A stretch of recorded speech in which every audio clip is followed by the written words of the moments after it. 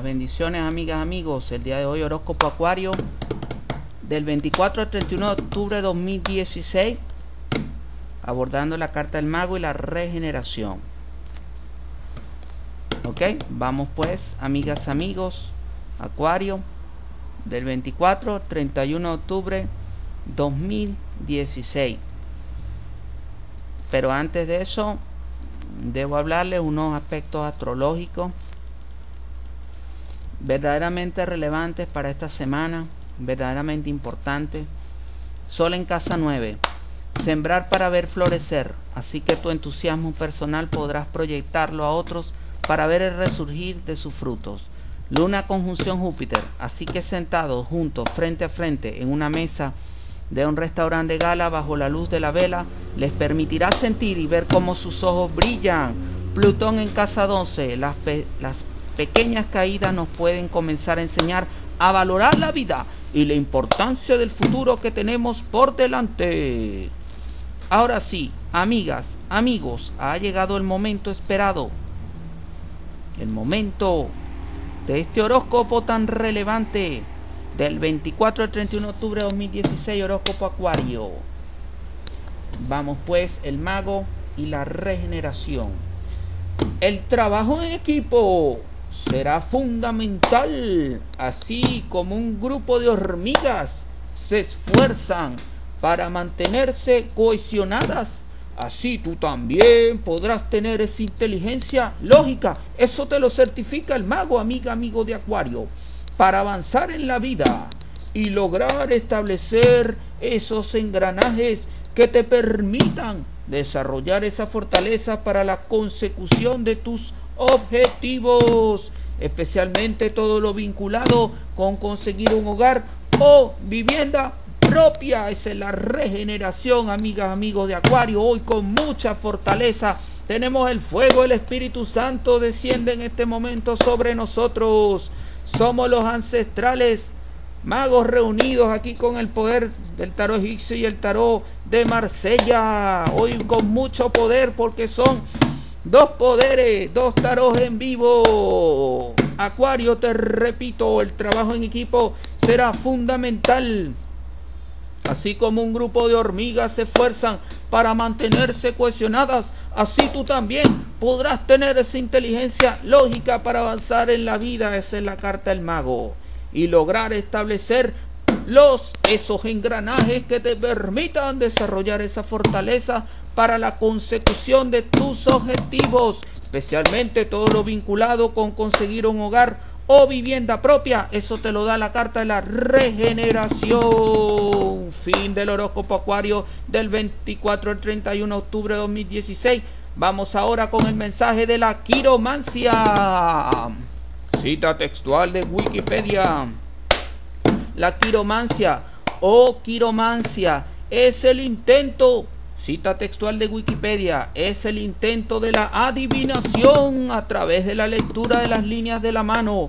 El término deriva del griego seikeir mano y mantel adivinación. Es una rama de la quirología y se centra en el estudio de las líneas y montes que se hallan en las palmas de las manos que por medio de la observación revelan supuestamente el perfil psicológico y fisiológico de una persona, aunque suele ir íntimamente ligada a la adivinación y a las ciencias ocultas. Siempre ha existido una cierta aceptación popular comúnmente. La práctica de la quiromancia se denomina leer la mano o leer las manos, aunque también se conoce como echar, leer o decir la buena aventura. Científicamente se ha considerado una pseudociencia donde históricamente se han utilizado técnicas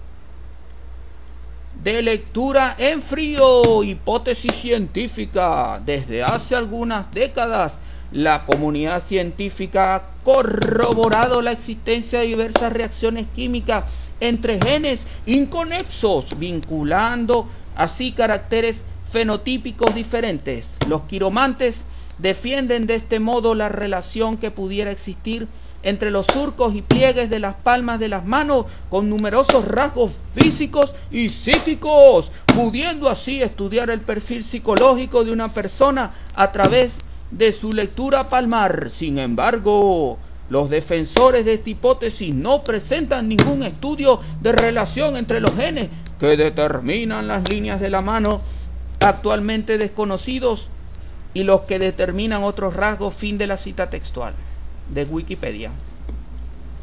Bien, amigas, amigos, a la lectura, a la quiromancia, le sale nada más y nada menos que dos cartas verdaderamente importantes.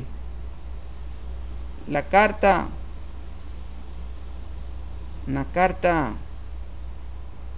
de la rivalidad y la carta de la torre. No hay duda de que muchos hemos visto por allí personas que se colocan con un cartel diciendo que leen la mano. No hay duda alguna. Bueno, y simplemente piden una ayuda, ¿ok? También está la época de los gitanos, que también, hay que recordar, los gitanos se dedicaban a la lectura de la mano desde ya tiempos remotos. Hoy en día sigue vigente, inclusive hay libros que se han desarrollado ciertas teorías a través de líneas centrales, líneas paralelas, algunas la asocian con inclusive con la longitud de la vida, qué tan larga va a ser la vida o qué tan corta va a ser la vida y los problemas que se van a tener en la vida. En lo particular recuerdo un señor en un mercado que decía que leía la mano y le vio a un joven una luz que descendía desde los cielos, a través de la mano logró ver esa luz algo verdaderamente importante para ese momento. La quiromancia forma parte de las mancias, hay que hablar de la cartomancia, la quiromancia, y son formas de adivinación, cada uno ¿no? en su rango, cada una ha sido estudiado psicológicamente. Carcellón se dedicó sobre todo al estudio de la cartomancia y lo entabló, lo enmarcó dentro de lo que es la Psicología transpersonal. Excelente, amigas, amigos. Psicología transpersonal, que el legado de Carcellón sigue verdaderamente vigente para nuestros tiempos. Y bueno, nosotros humildemente hoy reuniendo dos taros en vivo para hablar de la quiromancia con la torre y por supuesto esta carra, carta de la rivalidad. ¿okay? Este, una carta de lucha que están presentes, de mucha fuerza y muy explosiva, ¿no? Sobre todo. Bueno, amigas, amigos, antes de despedirme, quiero darles el mensaje del maestro Buda para las naciones del mundo. Recuerden que no hay duda que las mancias seguirán vigentes, sobre todo en tiempos donde la incertidumbre y la falta de planificación adecuada están marcando la pauta de la destrucción. Lo que ven aquí es la torre. Así que llegará el tiempo la mancia donde saldrán a la palestra los antiguos, las antiguas mancias, los antiguos magos, los egipcios, los de Marsella, saldrán todos y, bueno, a decir la verdad, que hay que convivir con la naturaleza, ya rumbo a la biomodernidad, el desarrollo de sistemas androides, unido con los sistemas de inteligencia artificial para planificar mejor la vida, 80% naturaleza, 20% tierra, no nos cansaremos de decir, porque al respetar la naturaleza podremos entonces nosotros renovarnos y estar más fortalecidos. Recuerden, amigas, amigos, estoy para apoyarlos desde www.welcomeme.blogspot.com El maestro Buda para las naciones del mundo este viene a traernos su mensaje de luz. Él está brillando en flor del otro, en flor de luz. Y por supuesto, la Madre Celestial hoy nos da su abrazo para fortalecernos y darnos protección. Recuerden, estoy para apoyarlos desde www.welcomeme.blogspot.com. Muchas bendiciones a todos.